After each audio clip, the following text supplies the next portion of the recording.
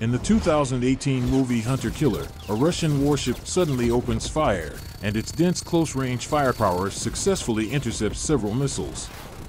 The firing in the movie is done by ship mounted close in weapon systems, specifically Gatling style close in weapon systems.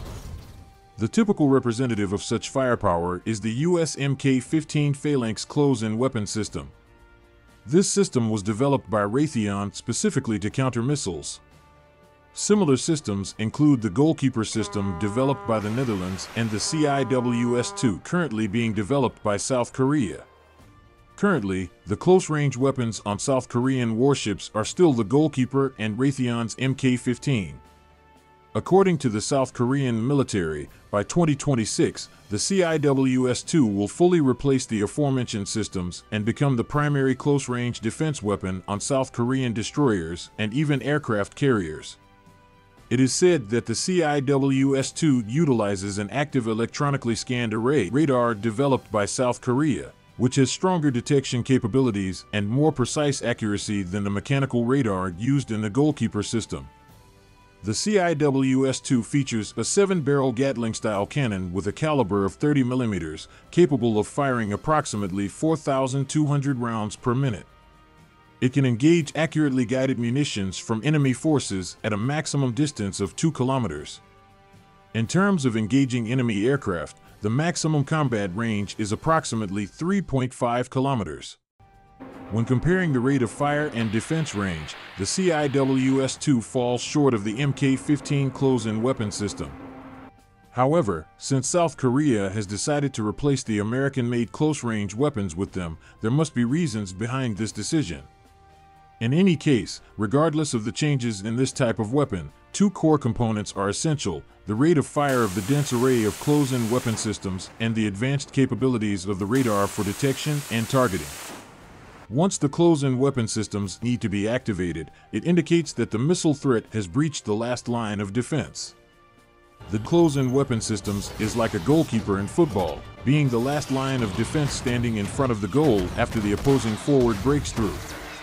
Taking the Mk-15 close-in weapon system as an example, it primarily consists of a search radar, tracking radar, and the gun system. The entire system's combat functions are fully automated and operated by high-speed computers. The gun system is the famous M61 Vulcan. From detection to firing, the entire process takes approximately 4.3 seconds. When the target approaches the maximum effective range, the phalanx system begins firing. In the first two seconds, it fires around 140 rounds, which can be considered calibration shots. If the subsonic missile advances approximately 600 meters during this time, the remaining shooting process will implement closed-loop firing, becoming more accurate with each shot until the target is destroyed.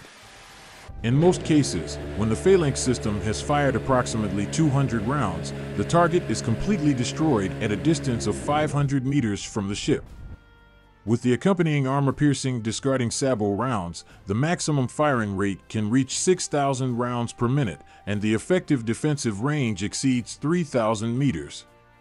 Although the 20 by 102mm ammunition's power cannot be compared to the 30mm ammunition used by South Korea, the crucial factor is that the Mk-15 satisfies the high rate of fire requirement of a dense array. The ship-mounted Mk-15 Phalanx close-in weapon system uses radar and electro-optical tracking systems, automatic servo systems, damage assessment systems, and target analysis systems integrated into one. Its response time is extremely short, which is one of the advantages of a phalanx system and one of its two core components. Regardless of the country's close-range defense weapons, as long as these two core components are top-notch, they will undoubtedly be the most effective. In the movie, the Russian missiles are launched from the shore, targeting the U.S. submarine near the harbor. This falls under the first stage of missile engagement. Intercepting missiles of such speed is no problem at all for a close-in weapon system capable of firing 6,000 rounds per minute. Let's switch perspectives and imagine ourselves as the attacking side, trying to overcome the dense firepower network of close-in weapon systems and successfully hit the target with missiles or aircraft. Currently, CIWS remains the primary close range defense equipment on U.S. military and Allied naval vessels. It is effective against non supersonic anti ship missiles, small aircraft, and armed helicopters. However, it becomes challenging to counter supersonic missiles. The challenge becomes even greater when facing hypersonic missiles. Therefore, we can conclude that supersonic missiles are one of the methods to breach CIWS However, the problem is that before supersonic missiles can reach the CIWS, they need to penetrate the U.S. Navy's layered defenses, such as the Sea Sparrow and RAM. It is only after breaching these defenses that there is a possibility of hitting the target. The CIWS consists of projectiles, and its firepower relies on the turning of the launch platforms. On the other hand, supersonic missiles and intelligent ammunition intercept targets using a different approach, with a maximum range of up to 20 kilometers and more flexible interception methods. Besides relying on high speed missiles, there is another method. The early CIWS used the VPS 2 radar, with a search antenna range of approximately 5.12 kilometers and a beam that covered the entire vertical area.